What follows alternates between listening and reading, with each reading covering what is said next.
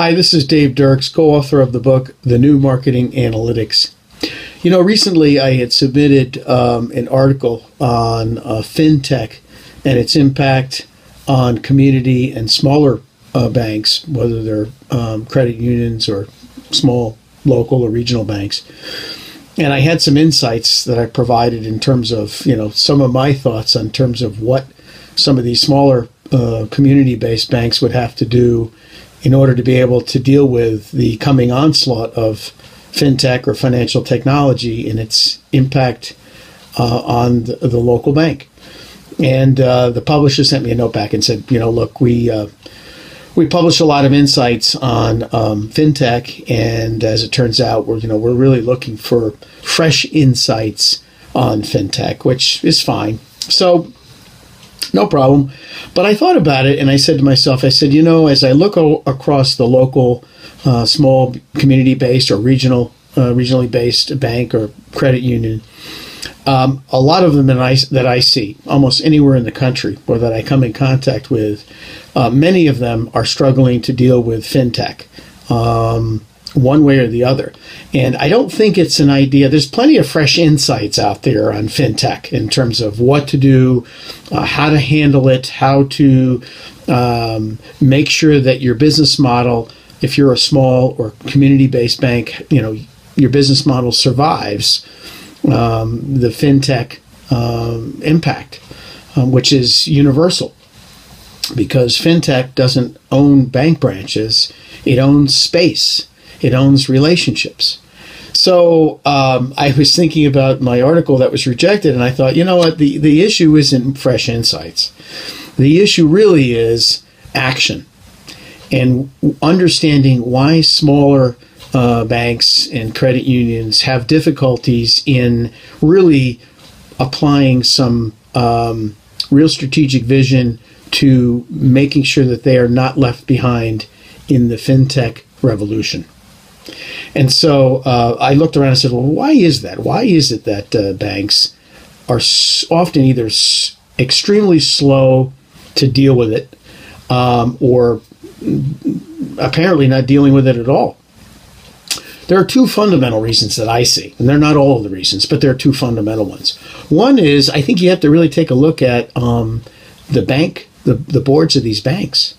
Small community based banks are kind of peculiar in the sense that they're usually well grounded with very excellent people from the community, um, usually the founders and local business people who are on the banks. Um, and I have to tell you, I often think that there's a little bit of that. Mm, I don't want to say it's small town, but it's sometimes it's small town mentality. It's like, you know, we kind of like the bank. It's been doing well for, you know, 50 years, 25 years, 100 years, and we really don't want to rock the boat. So I don't think board uh, local bank boards, by and large, not all of them, but by and large, are proactive enough or have enough vision or enough courage to take on the risk that it takes to be able to deal with fintech.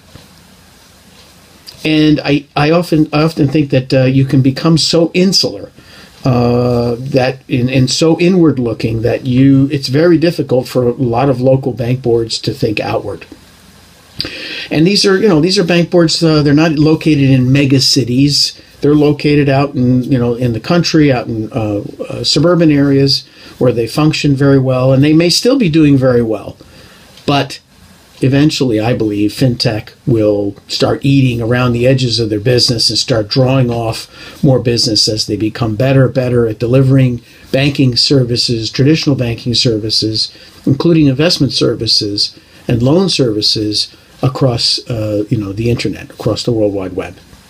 That's item one. So if your bank board is really not that in tune with fintech, or is intimidated by it, or just doesn't see the, the you know any of the value of it, and still believes you know at the end of the day, you know it's just going to be the handshake, the way we've done business that's going to that's going to keep us going.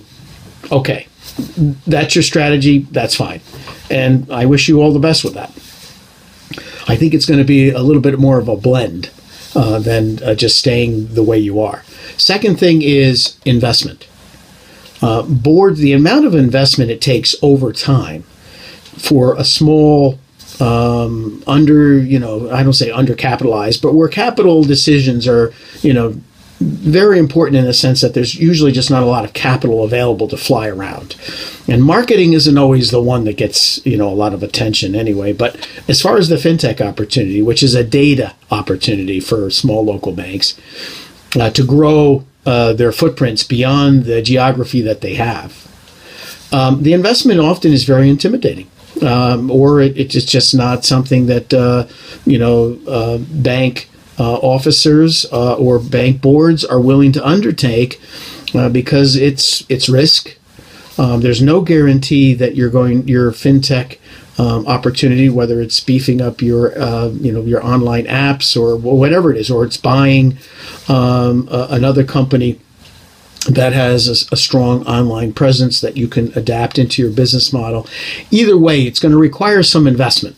And so when it comes to, you know, deep pocket investments, wow, it's either you don't either you have the capital or you don't. And if you do have the capital, a lot of bank boards and even bank presidents are very reluctant to stick their neck out and say, "Yeah, I recognize fintech is an issue or a challenge to us and that we've got to deal with it, but I'm not quite sure, you know, where even where to start investing even if I was willing to invest."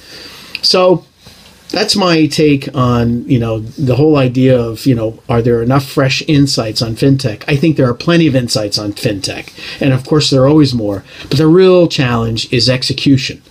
The real challenge at the local bank branch level and the credit union level is execution and that's where it fails.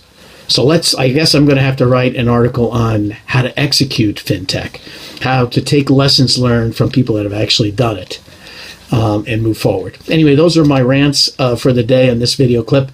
Um, if you'd like more information on marketing analytics, I ask you to take a look at the new Marketing Analytics, a book by my co-author and myself. You can check it out on Amazon.com or you can go on our website, www.newmarketinganalytics.com. This is Dave Dirks. Thank you for listening.